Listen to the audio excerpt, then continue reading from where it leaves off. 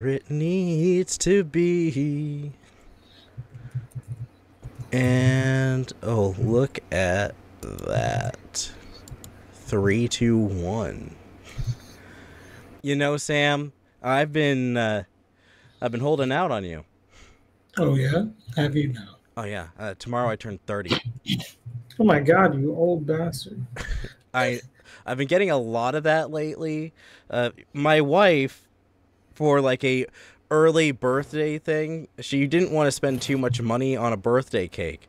So Hmm. when she went to the store, she saw that someone had failed to pick up their funeral cake for a, you know, a, as you would imagine, like a, a wake or some kind of uh, service. So since Weird. they uh, Okay. didn't pick that up, she's like, "Well, hey, can I can I get that?" And they're like, "Sure, seven bucks off." And then uh, so the birthday cake says uh, R.I.P. Then she just added to your twenties, uh, and I'm just like, "Wow, thanks."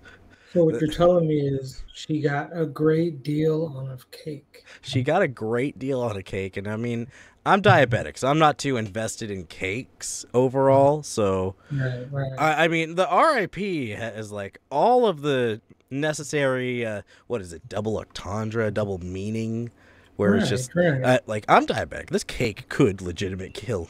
It, it could kill me. It could be It is kind of a, a death. It- uh, the point is that like this is what you this is what you get when you marry goth girls that have a sense of humor. So you need to make the right choice, basically, is what you're telling us. Well, I'm not going to tell other people how to live their lives, but I will tell people that, that this is w- the kind of life that you can expect. Uh, everyone wishes for it to be. I, I will say, uh, in terms of marriage and stuff, though, uh, Mm. marrying the gamer girl, make sure that she had siblings growing up, because like couch co-op with a girl that, that was raised in the only child uh, fashion, uh, she like if like it mentally hurts her to see a split screen. So forget about that. Rest in peace to those dreams. Honestly, I think I've uh, been able to successfully play some split screen with her like a only a few times, and uh, the the most recent iteration of that working is Baldur's Gate. me, funny enough, me and my girlfriend recently uh, have gotten into playing League together. Well, you And- know that, that's some bonding experience right there. It it's honestly been a lot of fun. I mean, it, beats the fuck out of Baldur's Gate. I mean, trust me, I love a good D and D experience, and Baldur's Mm. Gate's fantastic when I'm not being cucked by a goddamn vampire while I'm playing it. That is true. Everyone makes that choice. I haven't even played it, and even I know. I have my ch- baby just hanging around, babbling about, toddling about. I guess on that note, I guess we should start the show. Without further Sounds ado, good.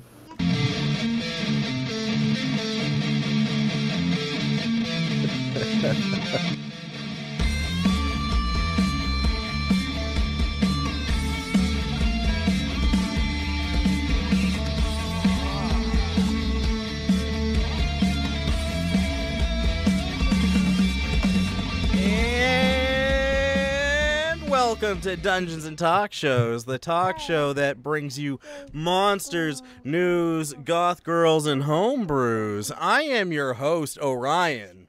And I am your host, Sam. Unfortunately, I am not a goth girl. I'm sorry to let you guys down. Mm, but you're still the waifu we want, so Thank you. the, the fans. Just know input that "Am I a pretty girl?" SpongeBob meme, please. Yep. And we have another wonderful guest with us uh, this week. Why don't you introduce yourself? Uh, hi, I'm Alden McClure. Uh, I uh, do a lot of gaming, um, mostly uh, Magic and D and D. So uh, pretty heavy into that. I do uh, love anime, and I'm just like a connoisseur of all things geek, I guess you could say. Oh, yeah. I, I can see that. Like, uh, like your your entire surroundings are uh, anime posters, uh, game stuff, uh, all, all over the place. Like, see a little R two D two. Oh yeah. All right. And I understand that you recently started like a, a kind of a podcast of sorts. Uh, Oh. yeah. Um, we're we're still we're still figuring it out. There's a lot of scheduling issues with uh, some of the people, commitment issues. So uh, we're we're still we're still figuring it out. Um, but uh, we're we're definitely trying to get it up off the ground. Um, uh, so uh, essentially, it's uh, it's uh, swag. Um, so yeah, um, we're trying to do mostly uh, CDH um, content, uh, which uh, for people that don't know, CDH is uh, competitive uh, Elder Highlander, um, which is Commander for for more Yeah. recent Oh, people. for magic. So uh, so it's Magic the Gathering. Uh, Gotcha, gotcha. I was a little lost. yeah, it's uh, so I've, Together, I've, yeah. I've I've been playing Magic for oh god since the '90s.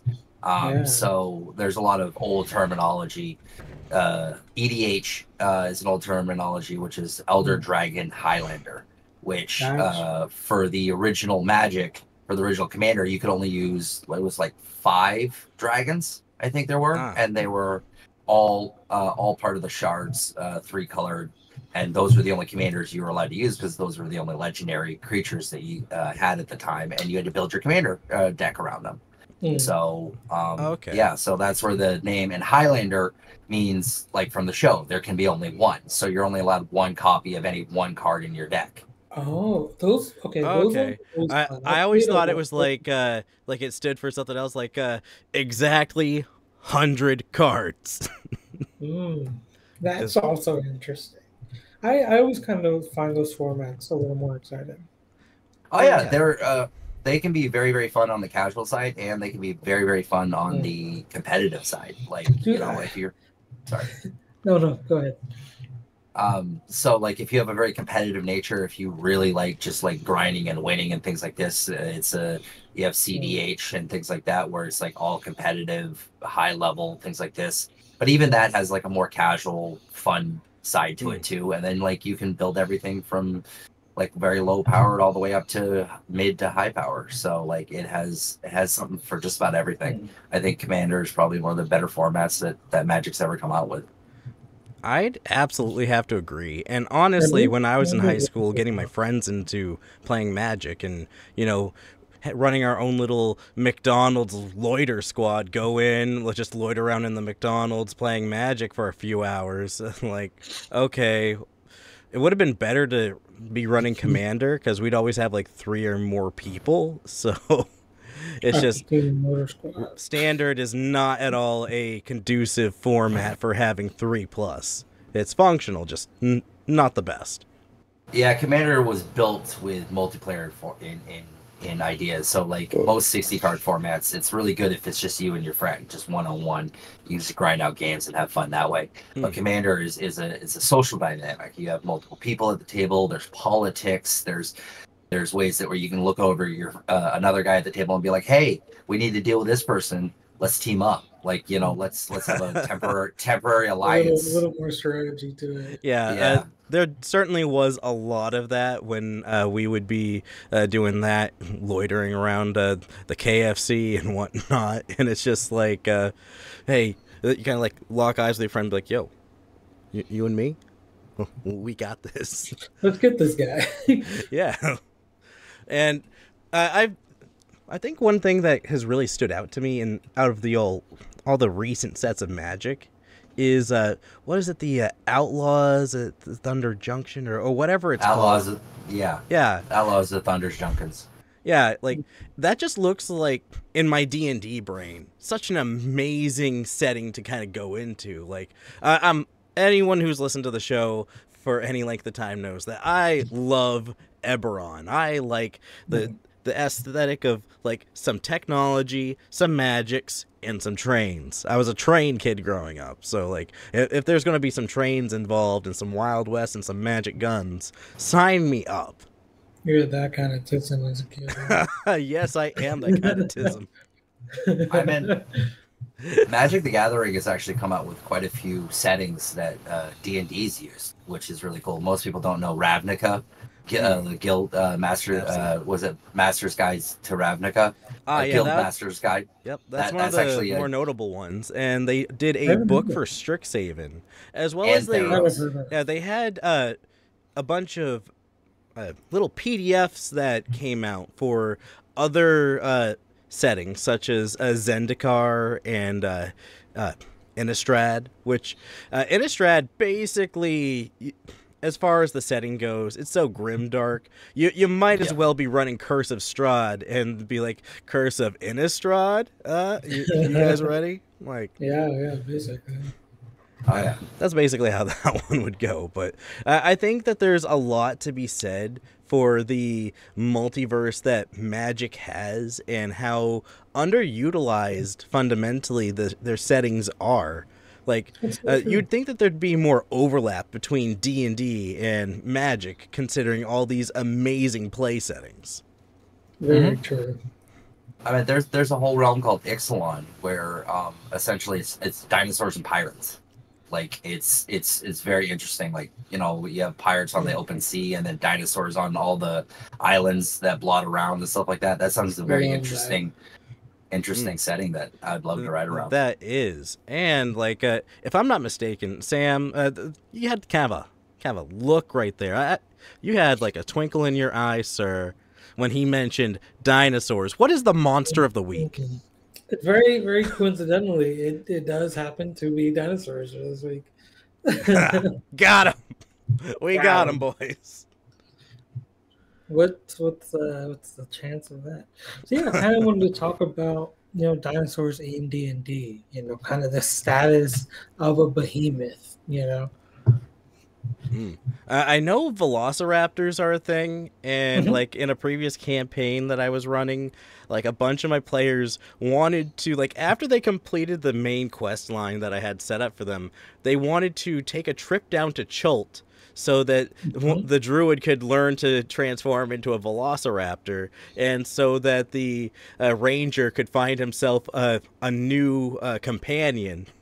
that's Because a that's a good like objective to go there. Yeah, because like they they had the money, they had the means, they had the transportation available, and they're like, and I kind of like laid the groundwork so they could kind of uh, transition into Tomb of Annihilation if they really wanted to. And you know, I love that you mentioned, you know, going to Chult because I, I know some people out there who don't know D and D lore into the, you know, Sword Coast and shit like that. Well, they may the, not know the Forgotten true. Realms is only the Sword Coast is remembered realms. exactly. Yeah, but they may not know that Chult is like an actual island where dinosaurs are like known to live. Yeah, I do, but kind it's of, I do kind of talk about that a little bit here. I mean, there's a- me to- I was going to say that there's a very famous dinosaur on that island that that, that, Mhm. that shows up shows up in in uh, Tomb of Annihilation, which is uh, the King of Feathers, and it's a really cool dinosaur that can teleport, summon bees, things like that. It's Yeah. it's, it's it's a really really awesome. cool. even uh, going to talk a little bit about the uh, patron deity of, uh, of cults. All right, so you want me to go ahead and get started? Yeah, go right in. I mean, patron Lady- deity of dinosaurs is this the a thing? intro. Oh shit, we have that. now. Unveiling the darkest secrets of the creature of the week. Sam's monster lore.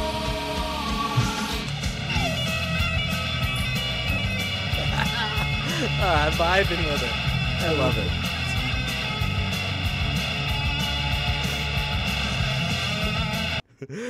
Right. So yeah, Such a so dinosaurs in D and D, also known as thunderers, behemoths, or Garuda, were a group of ancient reptilian creatures found on Toril. They were considered agents and children of the Chultan deity of Tau. Some of them had turned rogue to serve as enemy eh, Eshowdow. Ishao Dao. it's like they were just making up words at that point. I mean, a lot of D and D do kind of just sound like they put in like a name generator. no, we would never, as DMs, s- uh, carouse the internet for a, you know, kind of sketchy, probably made in the early I've- '90s I've website that my generates life gone names. to those many many where you type in a keyword and you're like, yeah. yeah. Anyway, We're, we are grown men. We use Chat GPT, sir. These days in the future. so dinosaurs, everyone knows you know, pretty much what a dinosaur is, comes in many shapes and sizes. Though, as the name behemoth implied, the best known are typically very large. They could either be herbivore, herbivore, Herbivores. I can't say words. Herbivores, sorry, or They're- carnivores, depending on their species. Unlike dragons, dinosaurs were incapable of speech or non-intelligent by nature. Dinosaurs came in many varieties, from small to large, but most shared a number of physical features. They were, for instance, all covered in a layer of pebble like skin. Most also demonstrated a well determined and developed sense of smell, which predatory behemoths used to hunt. All right. Yeah. So you know, pretty pretty basic dinosaur facts. You know, But getting into the patron deity that I mentioned a little. So Ubtao was the patron deity of the isolated region of Chult, and indeed the creator of Chult and founder of Mezro. The father of the dinosaurs stayed distant from both mortals and other deities, and he seemed to be above the daily doings of the world of its followers. This might have been partly due to his origin as a primordial, uh, this alleged betrayal of the him owning him as his title as the deceiver, and it remained unclear that if he was even a deity in the traditional sense. Hmm. After the time of troubles, Ubtao began to show interest in his followers. So, You Yeah. had me at Dino God. yeah, the, the idea of this is really cool. And I go into talk a little bit about his avatar that he uses when he does kind of interact with his followers. Okay, is this avatar a like a T Rex? Because uh, I'll be disappointed he if does it's anything smaller. he does have a dinosaur form, but uh, in his mortal form, basically, he appeared as a tabaxi human male with dark brown skin, short cropped black hair, trimmed goatee, and a distant look in his dusky eyes. His age was hard to pinpoint as he appeared ageless, and the color of his skin symbolized the dark brown, fertile earth of his jungles. Okay, so it's like a tabaxi pan. hmm So the father father of dinosaurs could cast any spells from any sphere or school of magic, but greatly favored the spheres of animal, combat, divination, elemental, plant, protection, sun, thought, and time, as hmm. well as the schools of abjuration, evocation, and divination. In his dinosaur form, Ubtao was the biggest and strongest creature found on the entire Chultan Peninsula.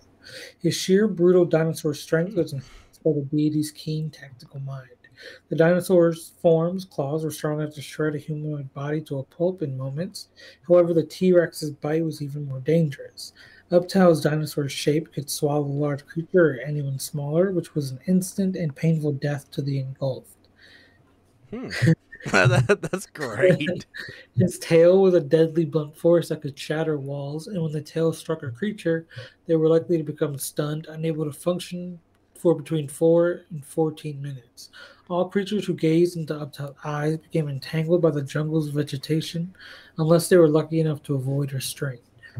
Additionally, all dinosaurs within a mile from the god's avatar were fully under his control, willingly obeying Ubtao's telepathic commands.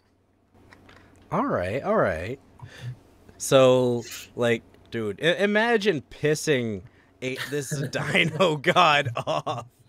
Like, oh shit, you done fucked up. Now I'm sending my avatar of Hey. me, and it's a you know big old dino tank. It just rushes in, just. busting. I love the down. idea that he's just like he's just chilling in his in his island. He's just like Yeah, this is so, my like- shit. he's like I'm the top dog. You better respect it. That, that's top T Rex. I like to imagine it's like one of those badass uh, kind of dinosaurs with like uh, like little mini like kind of shreddy kind of horns on the face, like just a little extra being, being labeled as the deceiver though is interesting. Hmm. Ah, maybe the dino illusion. I don't know. I mean, I believe I know. Pretty sure the primordials have a tenuous history with the gods, right? So Oh, okay. eh, I kind of imagine it's probably related, and I think I do have a little bit here.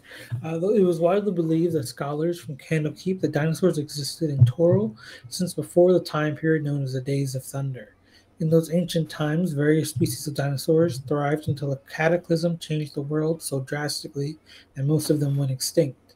Sages from Candlekeep didn't have a unified theory about the nature of the catastrophe. The most commonly accepted theory proclaimed that this catastrophe was the Tearfall, while the while defactors of this theory believe that the sun's temperatures diminished to a degree that produced a global climatic change so harsh that only the smallest were able to survive. A lunatic sage even proclaimed that the cataclysm was actually a war between the gods and their enemies, which we know is actually what it was. Okay, so the gods and uh, shit just kind of fighting, tearing shit up. I mean, uh, there's been so many uh, major wars between races and things within just D and D in general. I mean, uh, come on, dragons and giants have Right. when when they get down and they have a fight. That's basically uh, terraforming an entire region. Oh yeah, and I'm, I'm pretty sure that the Days of Thunder are like the world is healing after the cataclysm that was the fight between the primordials and the gods. Yeah, like uh dude, if I don't know too much on that lore, but I do know that it was like enough for where like Primordial's like, okay, we're gonna Yeah. split this stuff. Because I know that that's when like dragons like really got involved. Were like, Yeah. oh, we could take this shit. Like, Yeah, and then like Dragonborn are from like uh, the primordial uh, Mhm. world with all the uh, dragons, and like Dragonborn are, are like uh, just kind of a slave race created for the, Right. the dragons. Like, yeah, because after the the planet was kind of like sundered or whatever by this like fight, you know, the dragons and their dragonborn were like, "It's our time. The humans are bodied. The gods are gone. Our mortals are fucking trash." it gets wild real quick. Yeah, Uh, I am very curious what dinosaurs, or I guess what dragons would think of dinosaurs if they would just kind of see them as like reptilian animals, or they're kind of like ah, cousin. I would act. I would actually say it would be kind of like what we look at like monkeys are. yeah, Like, Yeah, a- I a- think I a would argue too. de-evolved, right, uh, yeah. s- like a lesser race type of thing. like you're kind of DNA. related. Yeah. Yeah, Yeah. I imagine or I wonder if a dragon would like see like this island of Chultan, right? And be like I could I could I could do some fuckery with this. oh yeah i mean basically like it it's kind of like uh if a dragon shows up in a scenario like that it, it's straight up like tarzan you become uh, Uh, yeah. king shit of dumbass island yeah, but then I imagine Ubtao's gonna show up and be like, um, what do you think you're doing? Well, if I remember a lot of lore about him, he doesn't really care too much about Yeah, his creation. Uh, there's only been one time where he's personally stepped in, which was the not the city of Ulm, but there's a, Mhm. city of Mar Maron or whatever, Mezro, kinda like- I believe. Mezro. That's what it was, and he just like took it. He just took Yeah. the whole city. It, it took it out of time and space. So it's Ooh, it's yeah. it's trapped somewhere, and Yeah, that's so one of the only mean, times. If a dragon so he probably he may, he may not really care. But they are like his kids, so he's probably like yeah, I do know of two major dragons in Schultz. Uh, I don't remember their names off the top of my head. There's a red, there's a young red dragon that lives in a volcano, and then there's a green dragon that lives off one of the islands of Schultz. I could see it. So yeah that makes sense I- it's just a So- it's a whole big basically uh what jurassic park of the d&d world Pretty much. so, whatever the truth, only a handful of dinosaurs, among them the proto dragons, were able to survive and evolve to the members of species that exist in the present age. Like dragons, predatory dinosaurs had a powerful lust to hunt. The razor sharp teeth, suitable for rending prey apart, were also highly territorial. Herbivorous dinosaurs were also usually less aggressive, although, when defending their young or wounded after being startled or irritated, they could become vicious enemies. Dinosaurs often lived in areas very much isolated from any human habitation. They usually were found in remote mountain valleys, isolated rocky plateaus, dense tropical island forests, or secluded in the deepest and darkest of the jungles. So All right. dinosaurs for for people in their games who may you know want to seek out dinosaurs or whatever, or see if they exist within like their setting, they only exist in Toril and in Chult and Malatra. So like these two islands, they could also apparently be found on the island of Larath by way of like time portals into the past. All something. right, all right. So like uh, traditional D and D settings, like uh, few and far between, but they you can Right. find them. Some and naturally, for your own homebrew settings, Right. it, players are going to find ways to abuse dinosaurs. So like maybe just kind of uh, let them hunt for it a little bit. Like you got to work to deal with the dinos, you know. Yeah, like they would be they'd be a rare species people would have to go seek out. Mm. Like I imagine it's kind of similar to people who are like, Oh, I want this specific familiar creature, right? Like or I want to find like this specific creature as a companion. They have to like go on the mission to find it. Mm. So it's gonna be like in the nearby city. like Yeah. Like, travel two days to get there. Yeah, I do think that is a problem that a lot of DMs kind of run into with players, where it's just like a lot of players really do just expect things to just kind of be there, always available, and like, I mean, and your average DM's going to be like, hey, you really need to work for this stuff, but uh, I have seen uh, in recent years that there is kind of an unhealthy expectation in the community, and like, uh, like if you go on Reddit and someone's like, "Oh, hey, this this guy's not letting you uh, do your thing and play your character the way you want to play them," like uh, you know, fuck that guy, leave that game. And it's just like, no, dude, I just I think that if you want something, you got you kind of have to work for it. Yeah, I mean, every every hero story or every like human made god has like a path to the power, right? You Yeah. don't just get your like handed to you or stolen from a magic shop because you were lucky. Like, Uh, dude, the, the one time we had a player in one of our games that just straight robbed an entire magic store. It's like, dude, what what do you mean the man that runs the magic store doesn't have magics protecting the magic store? yeah, Pow- like magic that you would even not even know how to detect. Like, I have alarms like, on everything. I wouldn't clap you on notice. Like, I don't know.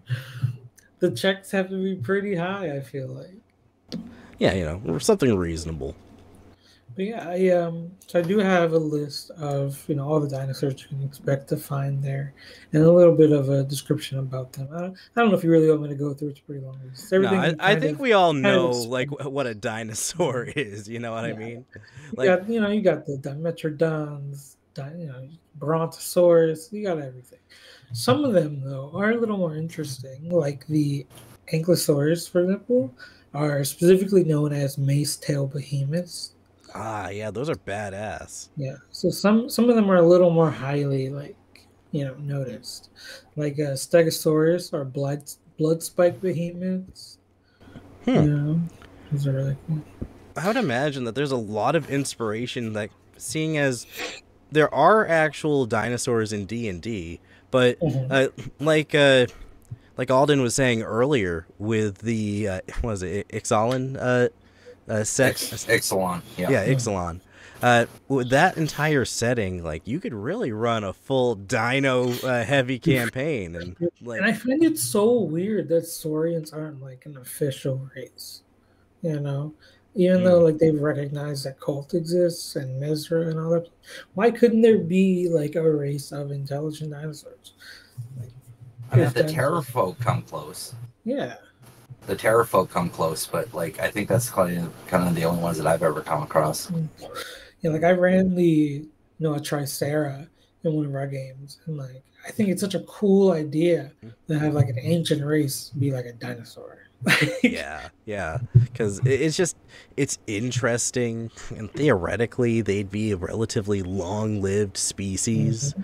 Because like, uh, I mean, how far off can they be in relation to something as long-lived like a turtle? You know? Yeah, and I mean we have fucking we have fucking turtles and dragon folk and loxodons and like fucking lizard folk. so why Bird, not? folk. yeah, Eric got fucking. Yeah, th- th- there's everything and anything, and I just think that dinosaur man. you, know, you could get real primal with that kind of stuff, and like uh, with an Ixalan uh, type campaign setting. Just imagine your barbarian being like, "Oh, cool, we just killed a Triceratops. I want to make its shield my shield." It- yeah, oh. Triceratops head shield would go crazy. And That'd That'd be so awesome. I mean, I guess you could just like flavor your your lizard folk characters like a raptor or whatever. But you know, and story Saurian homebrews do exist. You know, I ran one. Mm. But uh, that's not as cool as them being recognized in like the official books. One of the last times I played uh, as a, as an actual character, um, I played a lizard folk druid barbarian that uh, I, I completely uh, only if I was a, a druid, I only turned into dinosaurs. I would Nice. refuse to use. I, I crippled my. Uh, I kind of like narrowed myself where it was like I only turned into dinosaurs because I actually uh, my character came from Chult. He was from the the Oh, lizard folk side. Uh, Dude, over ever ever since I watched that like Goblin Slayer, I've wanted to play the Lizard Folk Shaman. Like Ah, yeah. Like I've seen some good homebrew shaman classes on like. I think uh, Shaman is such a cool like. it, it know, really is. very into like a cleric or like a like a druid. You know, Yeah, I feel like uh, if you wanted to take a step outside of D and D to play a good shaman character, uh, Pathfinder has a solid shaman class. Last I checked. yeah. It's interesting. Yeah, like uh, back in the day when I used to mix uh, 3.5 with Pathfinder, uh, just because you can, and there's just so many good classes that came out of all of that. But yeah, that that is all I pretty much have on dinosaurs today. It's pretty much what you'd expect from, you know, dinosaurs. They don't do anything too crazy. They're all about what you'd expect. Uh, Mm. The CRs kind of vary between them, obviously. Uh, that being said, though, uh, as far as the IRL fight score, I'm gonna give it a seven.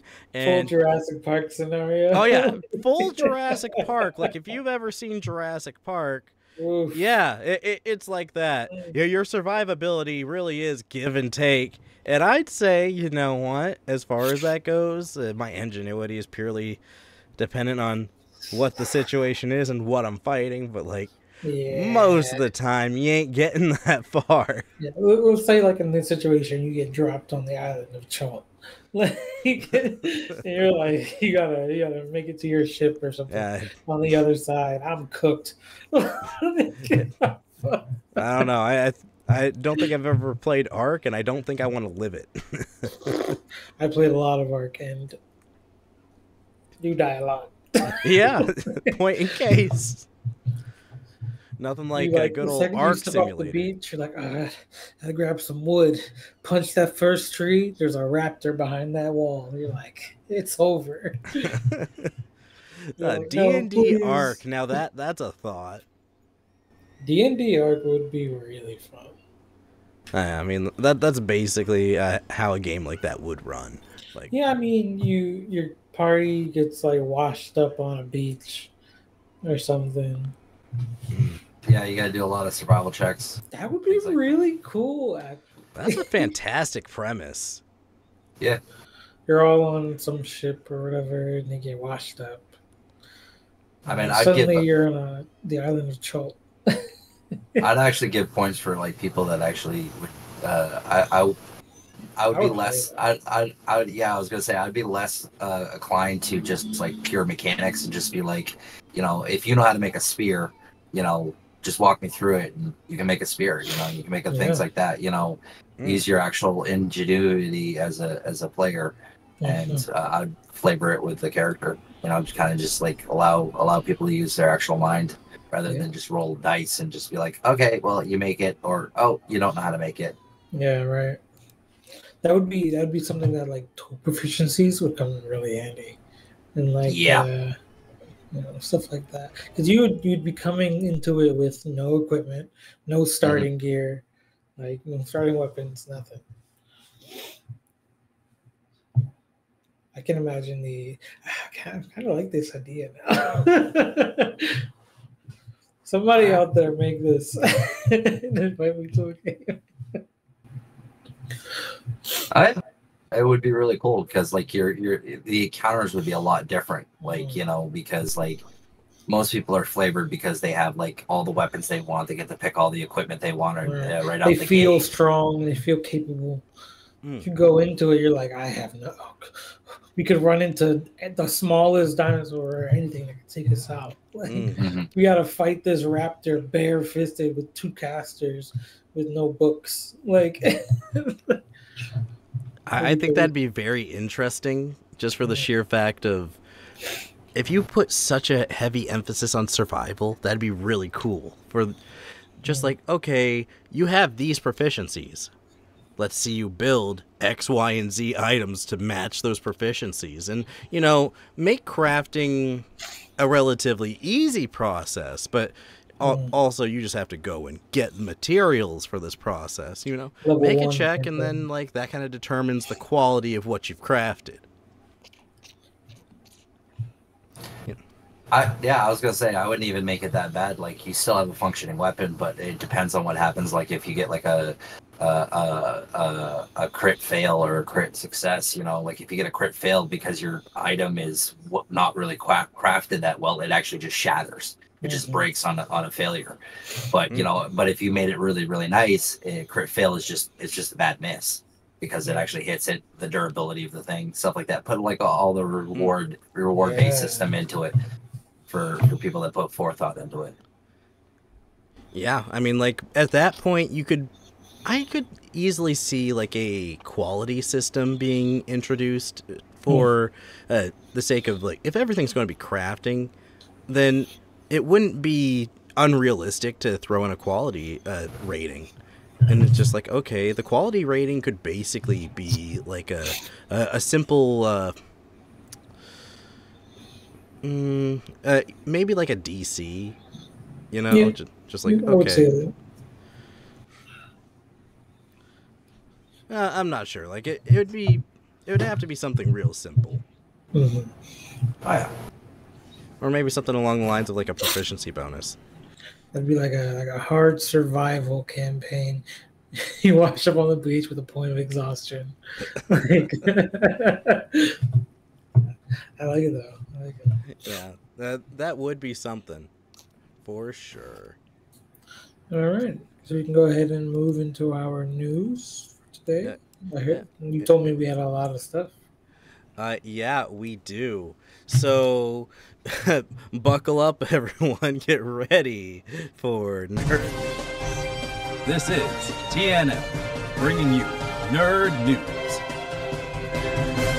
All right, guys. Nerd news this week. Are y'all familiar with the uh, YouTuber uh, Tulok the Barbarian? Barbarian. Yeah. He makes Uh, those really cool character builds. Yes. So, like, uh, there's hundreds of characters. Like, you find a character in media, throw a rock at it. If it's popular enough, it's probably something he's covered on his uh, channel. Everything from Luigi, Mario, uh, Zelda, Samus. Mhm. You, if it's I've been in do, like Smash. Deadpool, Spawn. You know? Oh yeah, he, he's covered like anything and everything, dude. So uh, he's gotten a little. Uh, he he's lost his passion, you know. Not really feeling it too much. He, people have kind of been seeing this coming for a while now. Uh, he made a Mm. goodbye video, and he the last uh, video he made for building a character was building the end from uh, Metal Gear Solid, uh, based on the character The End. So, uh, if any of you guys that are familiar with the game, uh, congratulations, character build and a pun. what more could you ask from Tulok, right? And he has moved on to creating uh, primarily Elden Ring content, from what I understand, because uh, he had been doing a lot of Elden Ring stream type stuff for quite some time. So hey, as long as he's happy, you know, a Yeah, lot of YouTubers kind of move away from stuff of- nowadays. A lot of hot content. I mean, I definitely don't blame him. He did the character builds for what, like five, six years, something like that. Oh yeah, like that, that's a long time to be doing something, and eventually you just you lose steam. I mean, uh, everything comes to an end. Eventually, this podcast will be the same way. You know, like eventually all you the just you podcasts move will in the the end of days. also, was foretold in the prophecies. Absolutely. Moving on, uh, Sam, I, I mentioned this uh, not too long ago. You you familiar with the the famous uh, Red Box Warrior? You know the the old uh, like what was it AD and D like the, one of the early editions, the most the, the iconic uh, Red Box set. Like uh, you give it to a kid like in the seventies, eighties, and they're like, oh hey, uh, your first D and D, here you go, kid. Just go for it. Roll some I'm, dice. I'm gonna be real. I have no idea what the red box is. Um, Well, it's literally just like a a starter set that was in a red box. like ah, like when they say red box warrior, it's just like it was a red box and there was like a a, a, your typical Conan style warrior on the cover fighting a fucking dragon, looking all barbarian and Oh. badass. okay. Yeah, yeah, yeah, yeah. I know what you're talking about now.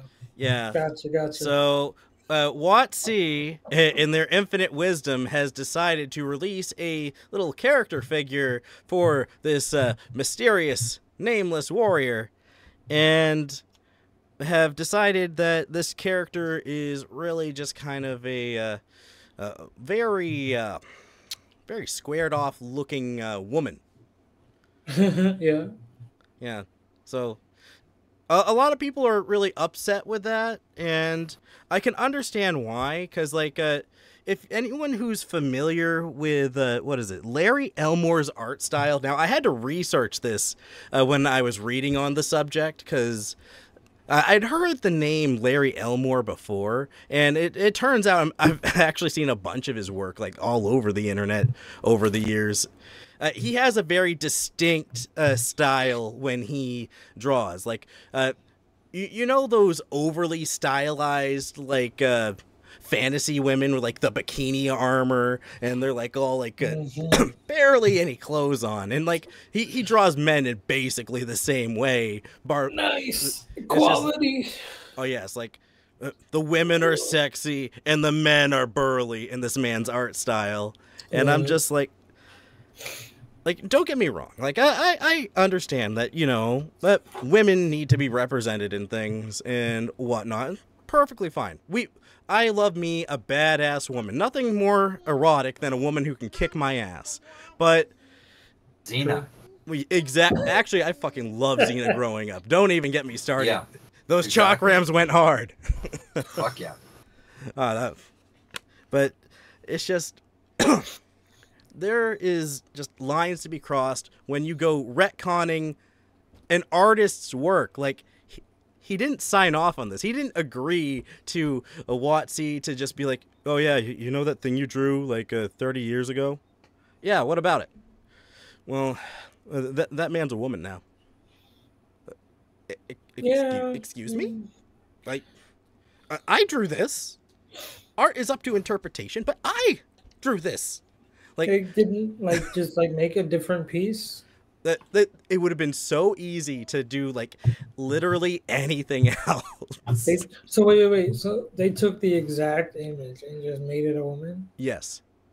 That's weird. Yeah, they they they took the the image, they created a, a little 3D model, made a little uh, mini that you can put on your uh, your table, and when you tur flip it around, it's got tits and a dumpy face. I mean, cool, I guess. But I mean, why don't they just like make their own? It it like just a different. I I think for me at the end of the day it's just fucking rude. You don't do that to someone's art. Like that's just Yeah. horribly disrespectful. Like I don't walk up to like I wouldn't go up to Akira Toriyama and be like, "Yo, that Goku bitch is one hot broad." I mean, WotC WotC's done a lot of things like this. I uh, I know this is probably old news, but like uh, I want to say five years ago, they did a whole thing where um, the storyline with the Planeswalkers and Magic the Gathering, there was um, uh, a relationship that was happening between um, uh, Chandra and Nissa. And uh, an artist, uh, a writer came in and was like, "No, that that's not happening. Actually, Chandra, it was a phase. It was a phase, and uh, now she's in love with Gideon." And it was just like it was like someone coming in and, and saying, "There's this whole storyline and all this lore based around this one thing that was established, and then someone just comes in and rips it out and just says, "Nope, nope, I want to put my own stamp on it." And I'm like, okay, and and th- and that's the thing is it's not always like what people get mad about. Yeah, obviously you get some people to get pissed off, but when you when you change Yeah. established lore about something or established imagery, it kind of like irritates people that have been falling in love with the original stuff. Right. Exactly. Yeah, I mean, yeah. uh, come on. Like, could you imagine if someone decided to like uh, retcon Shrek, where like Shrek is just this overly obese, ugly chick? Like that kind Yeah. of fundamentally Or, like, changes if the entire if like- story. Like, they like uh, remade Pokemon the exact same way, but instead Ash is a like it'd be like just like, flavorless and like thoughtless. Yeah, it's just like- like if like in the Pokemon example you said, like there's so many interesting female characters, so m- many Yeah. wonderful pokey women. Like, underused women characters and everything. yeah, th- there really is, and there's plenty of amazing female characters out there. It's just like, why is this the hill to die on? So Like-. Uh, uh, famously, who asked? You know, uh, I I just wish that there'd be a lot less disrespect for established. Uh, like, the thing is, writers and artists, like what, whatever your medium medium is, I think that like if someone writes something or creates something, there should be a certain level of respect to what has been done overall like a general courtesy you know like i'm not exactly that much of an artist but i do consider myself to be an artist and just art is hard, man. it, it is and there is a level of professional courtesy that should be industry wide honestly like Mhm. it shouldn't be political uh, in my opinion to just like oh people want to get up on their high horse and be like oh no they're changing all the things and uh, people are like yeah fuck yeah they're changing all the things and i'm just sitting in the middle like dude maybe just show some respect to the original people like they did, did they sign off on this did they say it was okay True. That's why I think that's why people are so upset about like the AI art thing. And, that, that's a completely using- different thing but like uh, using people's art and stuff like that. Yeah, like just taking someone's uh, art and doing whatever you want with it without permission. You know what? You, you're absolutely right. There's a big fight right now uh, uh, between two friends of mine at my card shop about that. Uh, there's a guy that's uh, using AR, AI art to uh, create play mats and selling those play mats and things like this. And then there's another guy that's an artist and he he's really against it all. So there's like this big debate. I try to stay out of it because like they're both friends of mine, but like I can see both sides, but like I, I, I get the I, I get the argument and the pissed off things of like it's kind of like stealing someone else's art and using it for your own thing. So Right. Yeah, like it, the whole thing is like really tricky to traverse. You know what I mean? Because like Yeah. On one hand, like there's tons of models out there that are built on straight ripping off people's work. And on other on the other hand, like say you strictly only use Adobe to go and do your stuff. Well, any artist that uses Adobe has already consented to having their stuff ripped off because th- they hit the I agree to terms of service and Adobe uses all that stuff uh, behind closed doors to Dude, like that's teach the their thing with that people runs their who, models, you know? who post their stuff on like social medias. That's the thing that they don't understand. Like they agree that like to let them use and take whatever is posted. Like as soon as you post it to a public platform, it doesn't belong to you. Like unless you yeah. put like your stamp or your name or whatever on Yeah, it. like, you gotta sign truly all your shit all the time, you know, and Yeah. like it, it really is just. There's a lot of crazy stuff, and I I understand where artists are coming from, These but I also understand that this is the same kind of reaction that whenever some kind of technology comes in, there's always going to be knee jerk reaction. Oh, it's evil. Get rid of it. Well, listen, you can't stop this. It it's AI. It's going to be everywhere all the time. We just didn't expect Skynet to come for the artist first. I'm sorry. Skynet's going to come for all of us, just uh, some faster than others. I mean, I see, I see it. Uh, so, uh, my, my my daytime job, I guess you could say, my, my, my, my, my normal job, um, is I'm a, a, a cashier at a gas station, and uh, we just got um, we just got uh, a self checkout there, which makes my job easier. I don't have to deal with as many customers. I can deal with more customers. I can get things done around the shop. It, it, it actually helps me. And, and stuff like this. But I get so many comments of people saying, "Oh, it's going to take your job. Aren't you worried it's going to take my job?" and all this other stuff. And it's that pushback. It's that fear of the unknown, of new technology coming and just taking your jobs. Because it did happen. It, it, happened back when uh, the uh, uh, the self-automated assembly line happened, and it took away a lot of Mm-hmm. And a lot people's of people got fired. Yeah. a lot of people got fired because of it. So there's this the stigma of new technology will take your job and take your your your your livelihood and stuff like this. But not all of it's that way. So Yeah. you gotta like pick and choose and see where where that thing is. Some technology is insanely helpful for you, so you can be a more productive person at work or what you're doing. And then other times, yeah, you know, some people just do it where it, it does take it. So it's like that that balancing act of looking how far technology goes. Hmm. Yeah, and without diving too much into that, because like honestly, that could be a whole episode in itself. yeah, yeah. Sorry, we're Exactly. on a bit of a tangent there. Sorry. oh, tangents are what we do, though. Oh, Moving true. on for D and D news, the D and D live action show canceled. Rip up that script, boys, because that, that's gone. Rest in peace. I mean, good because no, nobody asked for it. Nobody wants it. Like I, I we wasn't got expecting the much. we got, we got the critical role shows. We vibe with that. Like, yeah, and like they handle most of the production themselves, and honestly, Critical Role like has produced some good stuff. Nailed it. The show is Eh, so good. uh, Speaking of Critical Role, a little bit of news on them too. Season Yeah. three uh, just uh, got their. Uh, they just announced when it's coming out. I did. I watched the trailer last night. Oh yeah. Looks good. Okay, so let's see. They have confirmed the release date for. This article really likes to bury the lead. It will release October 3rd this year. So, any of y'all uh, getting ready for Vox Machina Season 3?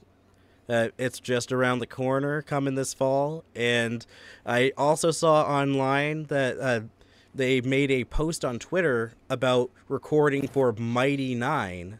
Nice. So uh, that's the uh, second uh, campaign that Critical Role has done, and also their most popular one. So we could expect something in infinitely better than the whole Vox Machina thing, which was I- already pretty damn good. I I always hoped that they would do these kind of like live like animated Yeah. shows. Because for all of us that don't want to sit around for like three hours per episode listening to someone else play D and D, can't like I can't wait until for the the years in the future when they do campaign threes show. That's gonna be so good. like I hear with the current campaign three, like uh, at this point in the campaign, it's kind of like falling off, and they've lost a lot of listeners. Somebody died. like it It's a fell lot of off a content. Their healer got cooked. so I heard. Yeah, a lot of people like the Sam Riegel. Rest in peace. he he was a big and then a promoter for them. He did a lot of the Oh oh shit! ad- Like a advertisements for them. damn. So no more. fresh- uh, what was fresh it? Fresh cut cut, grass. grass. Yeah. Yeah, he went. I believe it was what two, three episodes ago. I don't want to spoil it for anyone who doesn't listen. I mean, not much of a spoiler for me. at this point, like, every, Like, everyone knows I'd have to keep up for it first. show anymore. you know. Like, yeah, first cut grass I cooked, but took out one of the major big bads. Ah, so they're wrapping that one up. Hmm. And then last bit of our D&D news for this week. Uh are you too familiar with the game Dead by Daylight?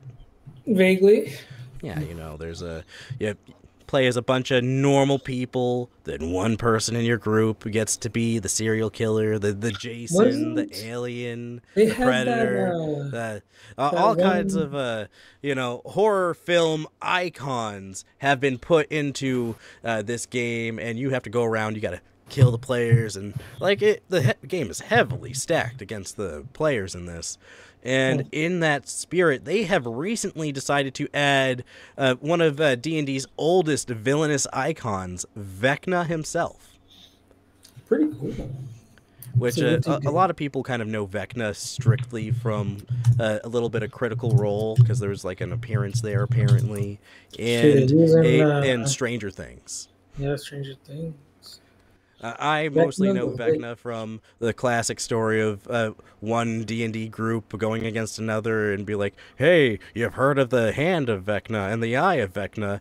Does Mhm. anyone want to cut off their head and try the head of Vecna? Ooh, fancy! Vecna? Yeah, The ball sack of Vecna? uh, you know what we really need is the Clothes of Vecna? cock of Vecna. You know, that's an ancient bardic item right there. Cock ring of Vecna. Uh, how uh, how Vecna items work is like uh, the He looks of cool. oh yeah he, he does he looks badass like uh the, the hand of Vecna, you have to cut off your hand, and then in order to attune to it, you have to attach it where your severed hand was. The same with like uh, also the eye, you got to scoop out your own eye. Wait, Did they, did they also put Vecna in Fortnite? Uh, did they? I don't know. I feel like Everything goes in Fortnite. think it's one of those Everything goes in Fortnite. Like after a little while with did. Dead by Daylight, it, trust and believe it'll end up in there somehow. Oh my god! Oh yeah, this was okay. This was like two years ago. What? There was a Vecna skin. Well, check this out uh, for all you crit roll nerds. Uh, Vecna is go- is voiced by Matt Mercer. Mm, true, true. So that, that's a cool little uh, thing we're throwing in there.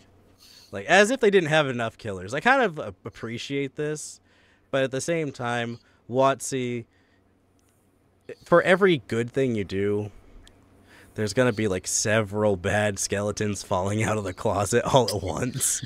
So true, so true. Uh, I, I'm waiting for the next one. There, there's always something.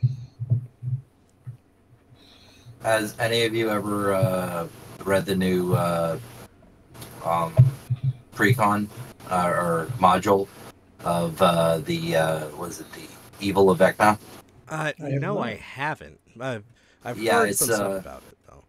It, it's okay. Um, it, it it it's one of the ones that uh, you're supposed to go around to like multiple planes. Uh, they're supposed to visit a whole bunch of things or whatever. Vecna's the big bad guy. It's supposed it like Ah, pulls in a lot of old school D uh, and D uh, players because it's it's a lot of uh, old old realms from like Greyhawk, Dragonlance, mm. uh, Eberron, um, uh, Bavaria. You know, like you go to all these different planes to get things. There's the Rod of Seven Parts in it, which is one of my most favorite uh, magical items to ever come across yeah, and stuff like that. So, yeah, it's it's pretty cool. Yeah, my dad was, really loves Greyhawk, and like, uh, really, uh, a lot of those settings are just like for old D and D players, they were amazing.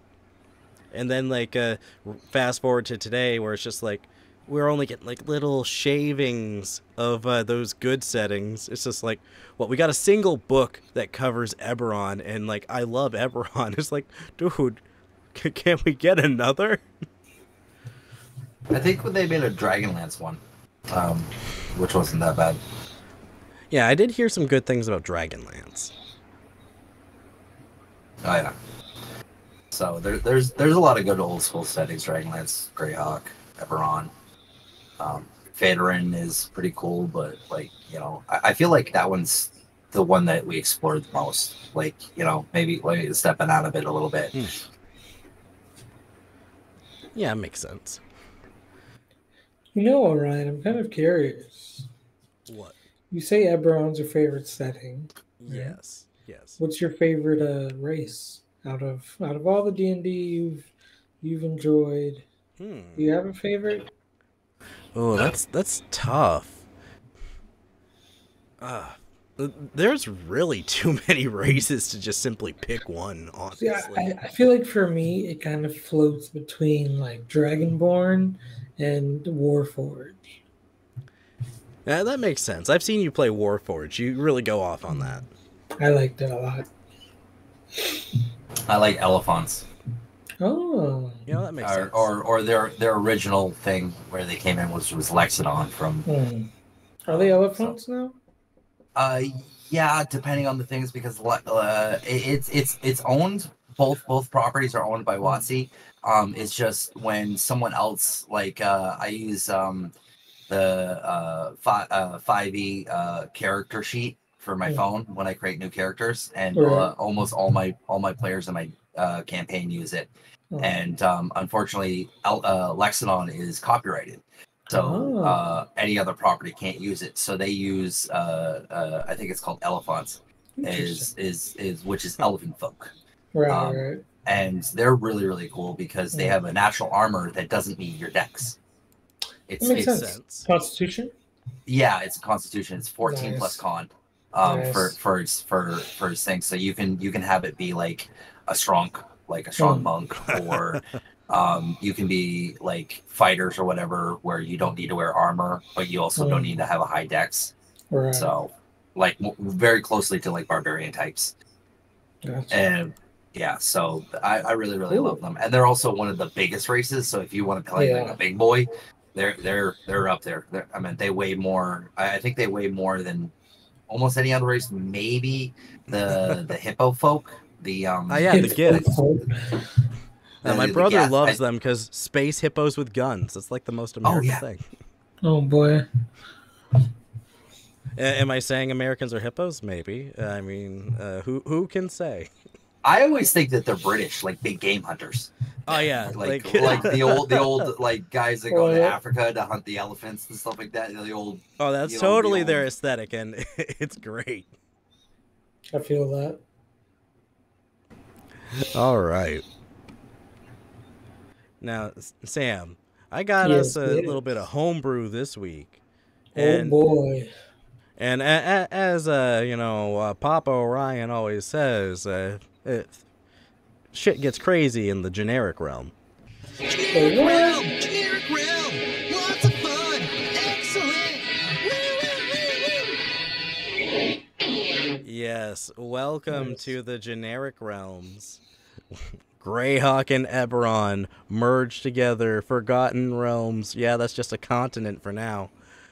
Joe Grass Fusion.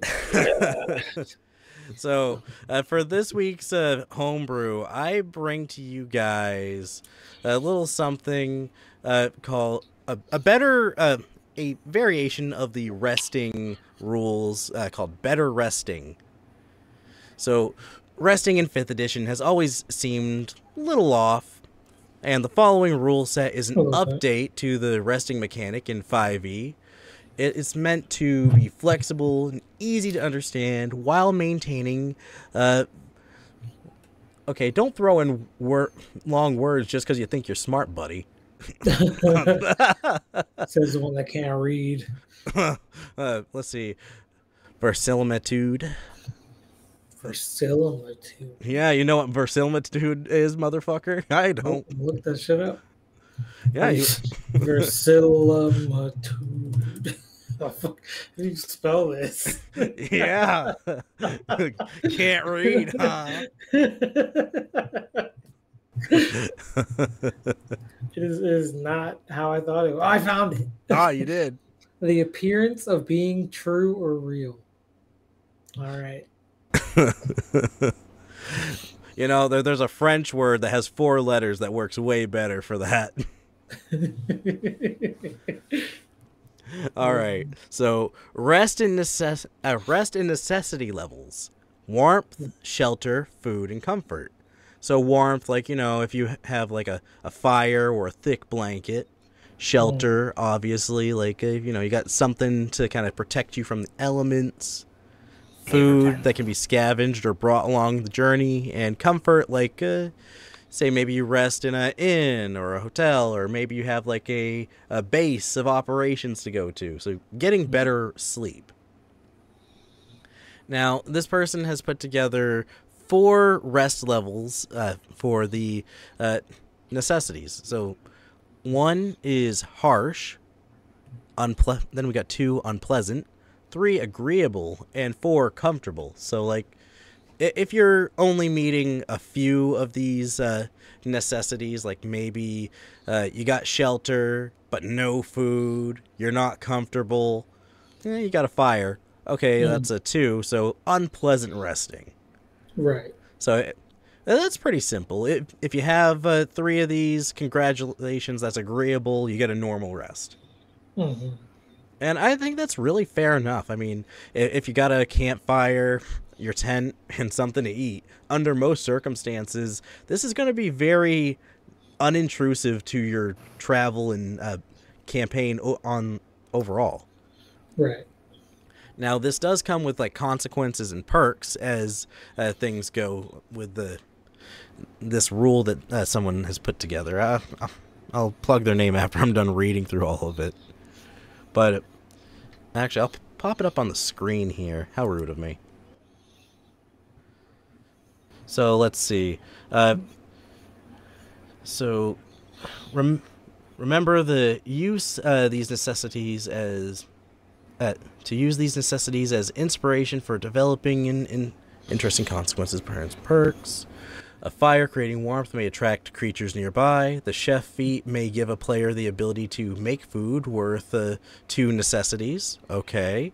A bard's song of rest may count towards comfort for a long rest, but their hours of performance may cause them to lose out on the benefits of a rest. Okay, so like uh, Huh. utilizing f- features that characters would already use as part of the your resting. So that's I like that. That's interesting right there. Very intuitive. All right. Then let's see. The rested condition. Rejuvenated from a comfortable rest, you find yourself resistant to the exertion of adventure. The next level of exhaustion a rested creature gains is ignored, Ooh. after which the condition ends. The, this condition lasts for 24 hours. Okay. O- Okay. okay, so you can push yourself a little bit harder after a hard night's sleep. I like that. And then, like, moving on to the hit dice portion of this. Well, hold on, wait, really quick. Oh, yeah? I also I wonder if gaining the rested condition would also cure like a point, like an extra point of exhaustion. I actually, that's uh, something right at the end bit Oh right yeah. here. Ah. Yeah. So, an agreeable uh, resting condition would uh, remove one point of exhaustion. Okay. Comfortable removes two. Nice. So that right there, real nice. And let's see, like I was saying with the hit dice, a character can spend one or more hit dice at the end of a short or long rest, up to the character's maximum number of hit dice, which is equal to the character's level. For each uh, hit die spent in this way, the player rolls the die and adds the character's constitution modifier. The character regains hit points equal to the total uh, to a minimum of zero. The player can decide to spend an Oh, additional great. hit die after each roll. A character regains some spent hit dice upon finishing a long rest, as explained below. All right, so instead of just automatic full health when you hit a long rest, you actually have to roll for it. Nice. So you can spend your uh, hit dice, so that puts more emphasis on using those hmm and then for a short rest it can short rest is instead of being like an hour it'll be at least 30 minutes long during which a character does nothing more strenuous than eating drinking reading or tending to their wounds. In order to gain the benefits of a short rest a character must at minimum fulfill the requirements uh, for a harsh rest. Okay so at least you know be com- either comfortable eating warm or under some form of shelter. Right. which easy to meet those requirements Yeah, you you have like a maybe your druid of the party. Druid craft you a little little hut. You Yeah. know, somebody can make a fire. Somebody's able to kill a squirrel or something. You know, you can figure it out. oh cool this actually goes a little bit further If they meet the required necessities for a comfortable rest, the character gains temporary uh, hit points equal to their constitution modifier plus their level at the end of a short rest. Nice. A character that regains spell slots after a short rest follows the rules for doing so from eh, from the long rest section below. Okay. Okay, so that's that's pretty neat. Then uh, going on to the long rest, uh, a long rest is a period of extended downtime, at least eight hours, during which a character sleeps for at least six hours and performs no more than two hours of light activity, such as reading, talking, eating, or standing watch. If the rest is interrupted by an hour period of strenuous activity, walking, fighting, casting spells, or similar adventuring activity, the character must begin to rest again and uh, rest again to gain any benefit from it. A character can't uh, benefit from more than one long rest per 24 hour period. And a character must have at least one hit point to start uh, at the start of the rest to gain its benefits. All right, so that kind of uh, gets rid of how a lot of people like to break things with the the resting mechanic in D and D Mhm. as I'm sure both of you are relatively familiar with. Like someone's like, "Oh, hey, uh, why don't we just long rest here?" Well, you just had like a long rest two hours ago. Let's do it again. Yeah. Or like the caster's like, well, yeah, I'm out of spells already. So let's take a long rest. Like We it's the had middle breakfast. of the day. Yeah, it's like noon. You woke up at ten. like your character's like, yeah, I'm gonna take a six hour nap. Like it's, it's like, excuse me, the body don't work that way. You might be tired, but you ain't sleepy, buddy. yeah. Unless you got some fucking sleep spell, somebody put you on. I'm gonna force him to take a long rest. Can can you do that with the sleep spell? The sleep spell is hit point is hit point dependent, so you hmm. could if someone's damaged enough or low level. Let's see. Going without a long rest. When you end a 24 hour period without finishing a long rest, you must succeed on a DC 10 con save or suffer one level of exhaustion. It becomes harder to fight off exhaustion if you stay awake for multiple days after the 24 hours. The DC increases by 5 for each consecutive 24 hour period without a long rest. The DC re- resets to 10 when you finish a long rest. I don't know how often that would come up in any game, but it's nice that it's there. You know, I I have some ideas. I had uh, a character I created a while ago, I think, who had like he was a warlock that had something to do with like a dream god. Ah, yeah. So he would go very long periods without sleeping, and then he would have do like a meditative, like sleep or whatever. And like I, I could see these kind of like coming into play. That'd be interesting because, like, warlocks are. They can take a short rest to regain their spell slots. So Mhm. you'd be purposely, like, losing out on your long rest abilities just for, like, uh, your whole patron. So that might be interesting. Mhm. Let's see. Hit points and hit dice again. At the end of a long rest, before spending any hit dice, a character regains a number of hit points equal to the corresponding value in the HP regained column. Okay, so they have like a little uh, column thing at the bottom. Hmm. And let's see here. So you will. So with that, you kind of regain a minimum of uh, HP. Minimum of, zero. Uh, well, let's see. It for a uh, harsh rest level, uh, you regain your con modifier as a minimum. Right. Right. Okay, so there's that. At the unpleasant level, it's your Constitution uh, mod plus your level. And then if it if you hit agreeable, you regain all of your hit points. Nice. And if you're comfortable, all hit points plus temp HP, which is You know, con plus that- level. So it's actually very very easy and really like it's not all that different from the traditional rest system. Mhm. You know, something I've always thought about is uh, players who have like a negative modifier to their constitution Yeah. being more prone to like diseases and stuff like that. Well, if uh, not enough people throw diseases into their games, and like I've seen tons of diseases if, for like uh, stuff in previous Mhm. editions, and I've imported them into my in the games I run because Yeah. hey, uh, you got uh, insert disease here uh, because you contracted it from getting bit by a rat. Sucks to be Yeah. you, buddy. You failed the con save. Rabies, Bro, like I mean, so the uh, Tomb of Annihilation, I Yeah. got so many people with diseases because that actually Yeah. has a, a, a big laundry list. the of, I Grim, think the Grim five or Hollows books has uh, diseases. in Yeah. Mm. and I used to love one. Uh, it was um, uh, was it uh, throat uh, uh, throat um, throat leeches. And it- it- it's a it's a it's called throat leeches, but there's no leeches that go into your throat. It's just Oh, your throat will swell up and you start getting like dizzy and and it's harder to breathe and you start getting levels of Mm. exhaustion and stuff. But essentially, it's whenever you go into uh, any body of water in Chult, uh, you have to do a con save to hold your breath.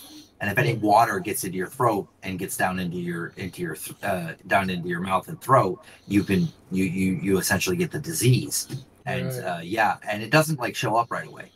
ah, and so it's kind of like so a microbe type situation. Like it has to grow Yeah. a bit. I would, I would like- love the idea of like magic diseases too that like affect your Well, there used- spellcasting. there used to be uh, mummy rot, um, uh, uh, something slime. Mm. Um, so Mm. mummy rot was one that uh, essentially uh, you when you get it, you start turning to dust. Slowly over time, it was a disease that you slowly Jesus like just started disintegrating, but it wasn't like instantaneous; it was slow. Mm, So you're like, eventually, slowly like your decaying. nose and your cartilage would just start crumbling away. Your fingers would start Oh crumbling God. away. Ah, Yeah. damn. The other one was uh, uh you you essentially turned into a gelatinous creature, like a gelatinous cube or whatever. Your all your bo- Yikes. your bones and your internal organs and stuff like that started liquefying, and you, I'm a your skin now. started becoming I'm a jelly like- now.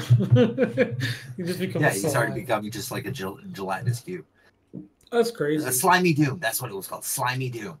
Yikes. Makes me think like Jelly Jiggler from Bobo Bobo Bobo Bo. It's kind of like how we had one of our companions in our campaign uh, contract like a curse disease. Yeah, poor Stonk. Rest in peace. Well, I mean, he's not dead yet, but you know, Yeah, he- rest in he's suffering. He's he's he's trooping. He's getting the he's making the saves. All right, I, I am almost done here. So after gaining uh, hit points and spending hit dice, a character gains up to half their total uh, number of hit dice to a minimum of one. If the character has, oh yeah, so it gives a little example. When you finish a long rest, uh, which you slept, if you slept in medium or heavy heavy armor, you only regain a quarter of your uh, the hit dice spent to a minimum of one. Uh, if you have any levels of exhaustion, the rest doesn't reduce your exhaustion level. See, that right there is actually, I like that because too many people feel like, Yeah. oh, we got attacked in the middle of the night. I, I was sleeping in my armor the entire time. Yeah, fuck off, buddy. Sure you were. Bro. Yeah, we need to make more rules for donning and doffing armor, and like Three- making making it clear when you're not wearing armor. 3.5 actually uh, their ruling was you couldn't you couldn't get the benefit of any rest if you're in armor you just couldn't get it so like you had to off uh, don and uh, and put on armor and there was a time constraint like it took like i think it was like 5 Mhm. minutes to put on heavy armor one minute for medium 30 Mhm. seconds for light and things like this so Yeah. like if you were attacked in the middle of the night sometimes you'd have to do that encounter without armor Right. Or you're So- really like, hold them off, guys, while I put my armor on. Yeah. And it doesn't say anything about light armor, and because light armor is very unintrusive in terms yeah, of uh, you could probably your sleep comfort. in like like, I, right? I could probably like sleep in leather. it, you know. It's like yeah, you could you would sleep in like a leather clothing, you know. i mean studded is light- actually kind of hard Yeah, something that's like lightly padded. yeah. But I would imagine it's easier than sleeping in a full like uh Yeah, you're full not sleeping plate, you clothes. know? Like Like, dude, that sleeping in a chainmail keep you awake breastplate. all night. Yeah, you're not sleeping in a chain shirt. Like it's, it's not happening. I wear my chain shirt to bed. It's just a big old chain nightgown.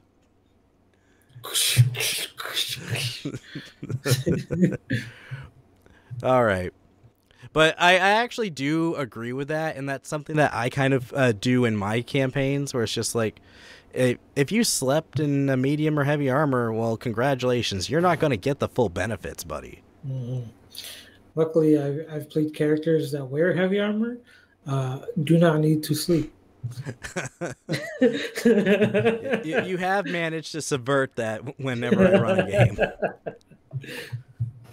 Okay, finishing this off, when regaining spell slots after a harsh or unpleasant long rest, you regain uh, about half rounded down or up, depending on which uh, conditions it were. It, it was. So half your spell slots rounded down in harsh conditions. Unpleasant would be half your spell slots rounded up. And, and agreeable and comfortable, you get all your spell slots back.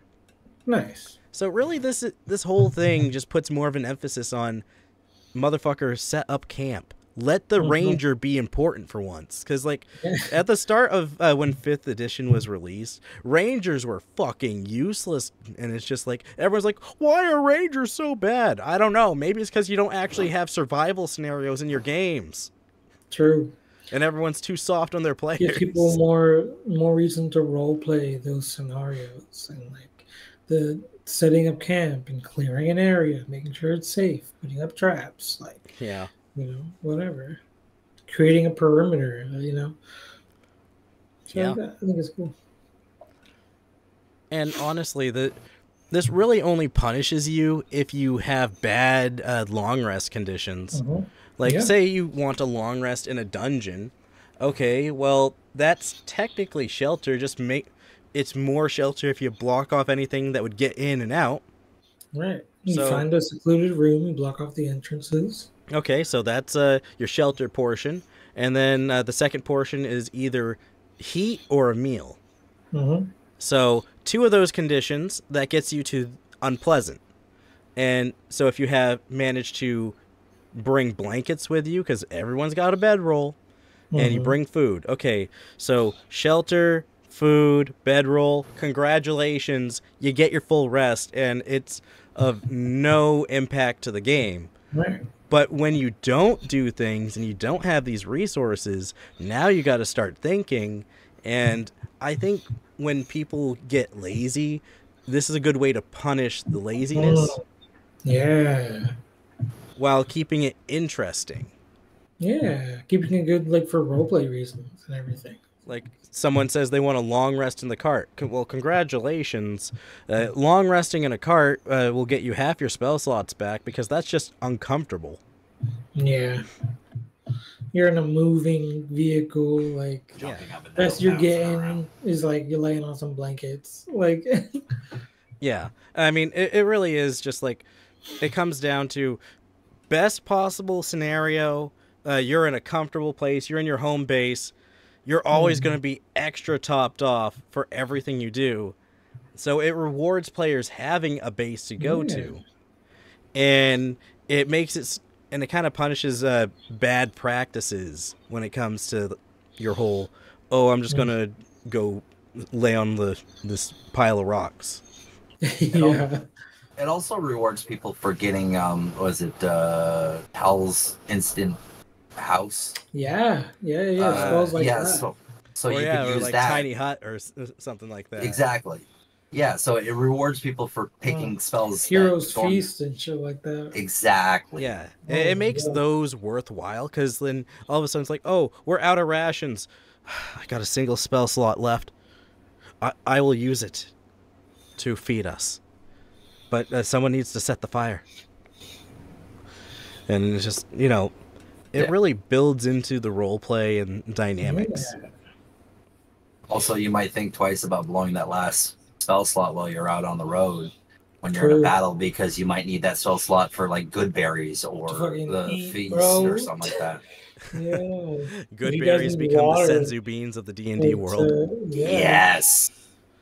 Okay, and this was all brought to us by Shrub Dad, Reddit user you, Shrub Shrub Dad. Thank you, Sharp Daddy, for this uh, creation. Yeah. A lot of thought went into it. Yeah, and I'm definitely going to link that because it's awesome. I like it. Oh yeah. All right, Sam, what you got? All right. So I've always been a pretty big fan of like the puppet masters and like Naruto, and, you know, and like magic that use kind of like the puppet master system. So I found an item called the Helping Hand, which is a grappling hook prosthesis. This is created by Loot Tavern. We've talked about them a few times. Uh, we have. I, I really do like what they got.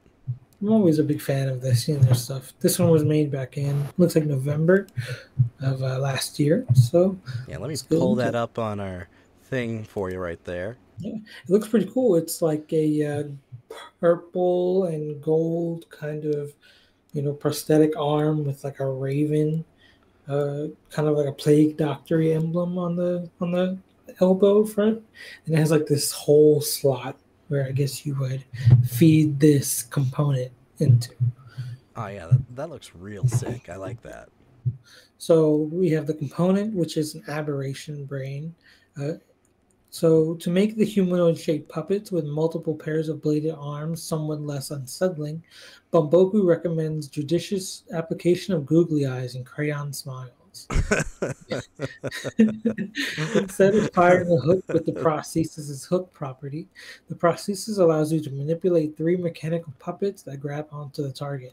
Instead of rope, the, the the puppets are connected to the prosthesis by wires of pure magic, which can't be damaged or destroyed. Otherwise functions in the same way. The prosthesis has four charges and regains 1d4 expended charges daily at dawn. So we have the first ability, improved hook shot. As an action, while the puppets are attached to a target, you can reel yourself in. When you do, you move a number of feet up to the item's hook shot range in a straight line toward the puppets. In addition, the DC of the ability check were required to forcibly detach the puppets increases to 13. Next, we have assistance at a distance. As a bonus action, you can expend one charge to take the help action, manipulating the puppets to support your allies. When you do so to aid an ally in attacking a creature, the target of that attack can be up to 40 feet away from you. Alternatively, you can expend one charge as a bonus action to have the puppets feed a potion to a willing creature that you can see within 40 feet of you. And I can also imagine, you know, you can get a little more creative with that. But I, I love the idea of a puppet master or puppet magic in D and D, just in general. Oh, absolutely. So like this is really cool. And then I always come to mind of like, you know, Kankuro from like Naruto, right? They're Yeah. like sorcery. Like yeah, like I've always been a big fan of puppet masters in that regard, and like I've even tried my hand at homebrewing a few, uh, like back in 3.5, it was horribly unbalanced, but I tried to make my own puppet master class. Cool would that be in D&D? Like, this is my character, this is my puppet. Yeah, it got a little ridiculous when I was like, okay, let's scale the puppets, and then by the time you get up around 20th level, it's like Howl's Moving Castle, and you can turn one of your puppets into a, Yeah. a mobile base for your party. I And I'm don't like, see why not. Well, that's what I thought, but then like the realization of how people would abuse that, just like, okay, I'm gonna just drop our base on somebody. I mean, why can't you? Couldn't you flavor the artificers? Uh, was it the not the battle master? Is the battle master the one that gets the pet? I robot pet. could. Yeah. Yeah. You could flavor that. So you could like you take your could, actions. but like, I'd want to have more like uh, puppet master type abilities. Yeah, I, I did, however, in the Naruto sphere, put together a pretty decent, uh, what I call the bomb sculptor uh, class, uh, subclass for the artificer, which is purely uh, based on, uh, uh, I think it's Deidara or Deidara. They, uh, yeah, they were or whatever. Yeah. Yeah, he had the uh, oh nice. He Yeah, had the, the clay like- hand, yeah. the clay, the clay bombs and everything. Yeah, yeah. Good art. Art is an explosion. Yeah, Oh, yeah. that guy. I love them. And character. like, it's been Yeah, pretty yeah. well received on D and D Beyond. Whenever I've uh, checked up on it. Nice. But yeah, this is a, a fairly simple item, I feel, but I like it a lot. It makes me nostalgic for that kind of puppet master feel. I've always kind of thought it'd be cool to have a character like that or have abilities like that. Oh, absolutely. Yeah, so shout out to Loot Tavern. Shout out to the Patreon once again Thank you for your creations. Awesome, awesome. And I'm just making sure like, I got all that properly taken care of. So like I'm looking at like the little puppets, and they look so cool. They look like little guys with hats and capes, and they have like little swords and claw. I like it.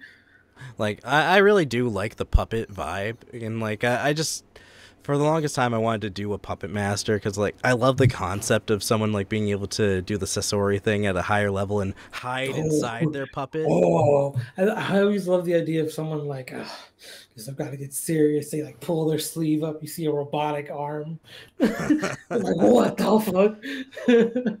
if you know anime logic, anime logic everywhere. Okay, well, is there anything else you guys want to touch on before we close things out? That's all I have. hit up all my notes. All right, Alden. Uh, where can people uh, find you and uh, a- any uh, plugs that you want to drop for your uh, podcast that you've been working on? Um, I mean, most of the time uh, we have it on uh, YouTube, which is uh, swag, which is uh, S W or S dot W dot. Um, I'm brain farting here. I am. I am not well put together. I'm starting to get tired. That's all. I, I feel that. I feel that. So, uh, but it's uh, swag with a dot in between each of the, the letters on YouTube. Um, we only have the one video up right now. Um, oh, Beans and Bro. I, I did actually help out a little bit with the, some of the audio editing for that. nice, nice. yes, Shameless plug. all the shameless.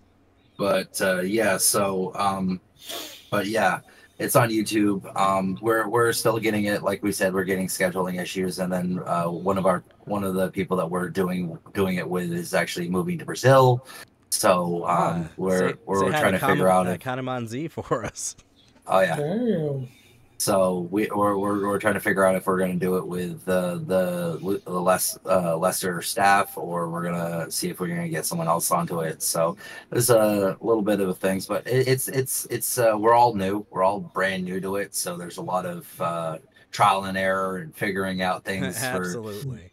new stuff because a lot of us are very very new to the the whole podcasting and and making Right. content and stuff like that um but all of us are lifelong uh geeks and we all do a lot of a lot of gaming and stuff like that it was just uh it, it all came about um with the fact that uh we we were all tournament grinders so we all like Yeah. play in tournaments and Mhm. and things like this and we all just started that we were like hey why don't we just throw this together sometime Oh yeah. so Awesome.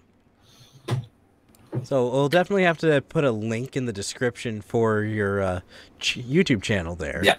Yeah. yeah i definitely Thanks for will- coming on. It was great to meet you.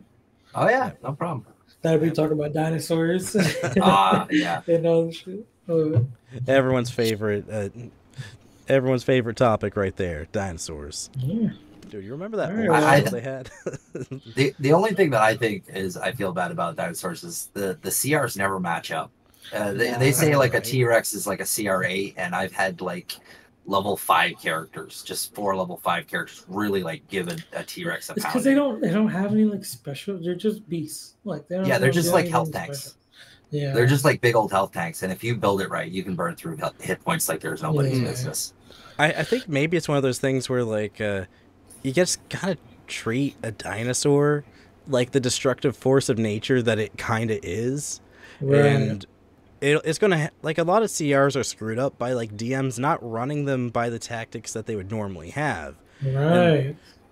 That's why I'm a big fan of the book The Monsters Know, because like do know. slap that uh, audiobook on when you're doing a little when you need to get some game prep in while you're driving. yeah. Yeah. Go ahead and close this out. Well, as always, this is Dungeons and Talk shows.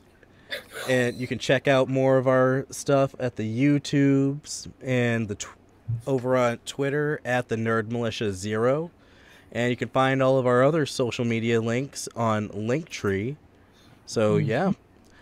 join the adventure, stay nerdy, and uh, see you next week. See you next week.